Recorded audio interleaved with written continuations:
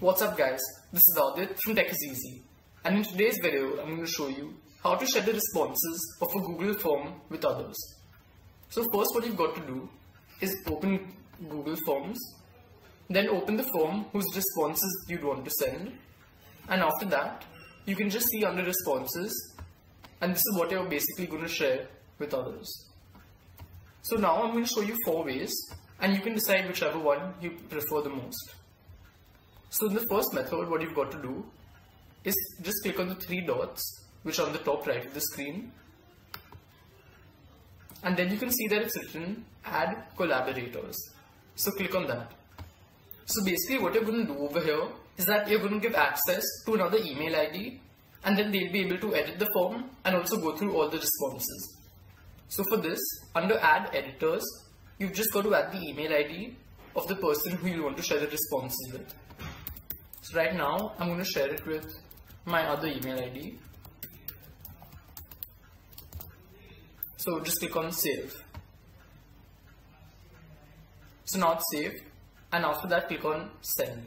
So over you can see that you're going to make them an editor and click on send. So now I'm quickly going to open Google Forms on my on my other email ID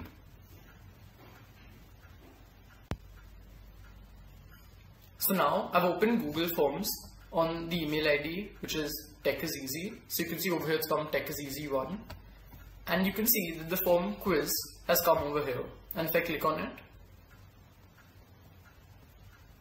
and I go to responses, three responses are here which is the same as this. So this is the first way of sharing the responses. Now I'm going to show you the second method. So now I've gone back to the original form now in this method what you've got to do is click on the three dots which are over here. Then you can click on print all responses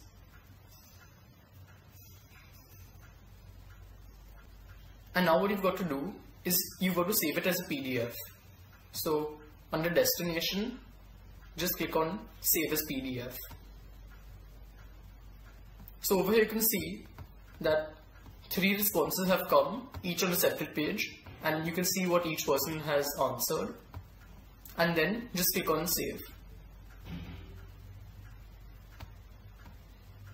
So I've saved all the responses on my laptop and if I just open my email ID and you can click on attach then you'll have to open that file so wherever you saved it just open it you can see that quiz Google Forms has come here. And then over here, you can just type in the email ID to whom you want to send the form. And you can see that if I just open this PDF, you can see that all the responses have come here. So now I've gone back to the original form and I'm going to show you the third method of how to send the responses. So this is similar to the second method, but the difference is that in this you can send all of these graphs. So this chart then these graphs you can share all of that to the person. So again just click on the three dots which are on the top right.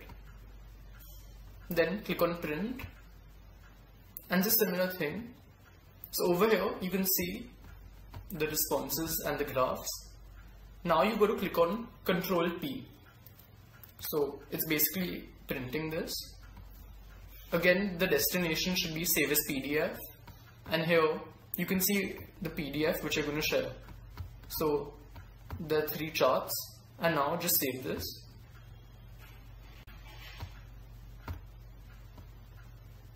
And now the same way, you can just click on attach files and attach this to this email.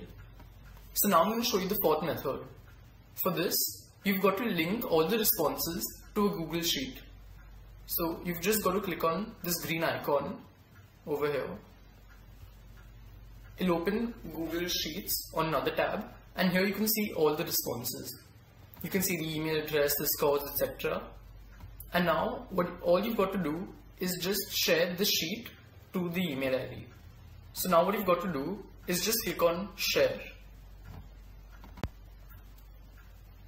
So I've clicked on it and over here, again, you've just got to add the email ID of the person who you want to share it to. So I'll add the email ID again. And after that, click on send. So now this email ID, which is Tech is Easy 1, they'll get to see this form and then they can make changes, edit it, etc. So these are the four methods and I hope they helped you. Thank you for watching.